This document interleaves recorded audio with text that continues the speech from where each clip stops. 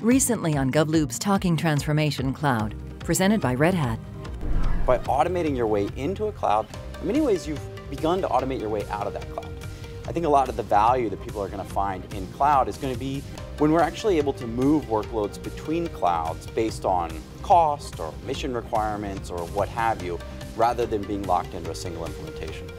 Watch this program in its entirety at govloop.com slash cloud dash trends.